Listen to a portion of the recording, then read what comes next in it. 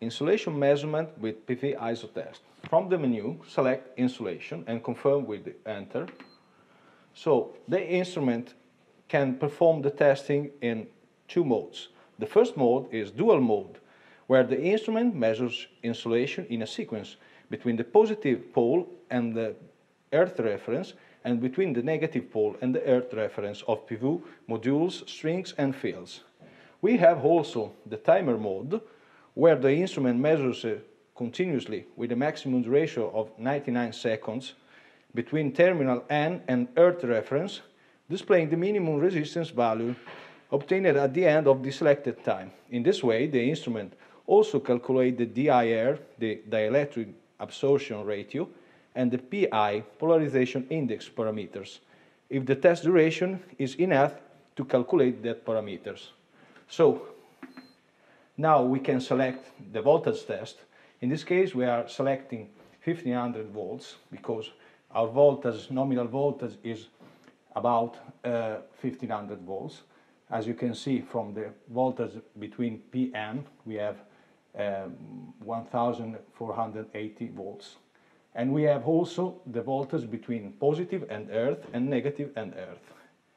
Here we can, we, we uh, can select the limit set by 1 megohm and now we can perform the test by pressing the go stop for at least 2 seconds.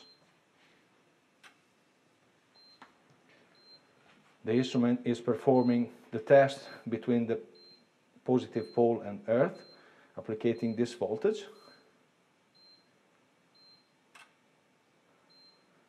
Okay, as you can see, the instrument switched to the negative pole.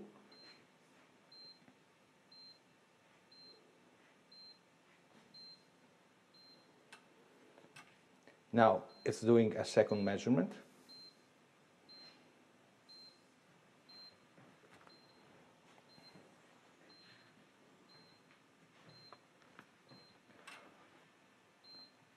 We are performing the last measurement.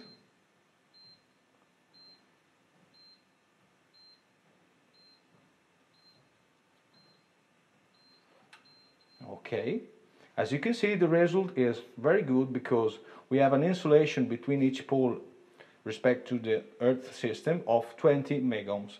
So the result is okay. And uh, now we can just uh, save the data by pressing save. We can add some uh, markers as plant string modules and we can by the arrow keys moving and selecting the number. Then we can save the data. Data saved. At this point, we can see on the memory the data saved and recall it.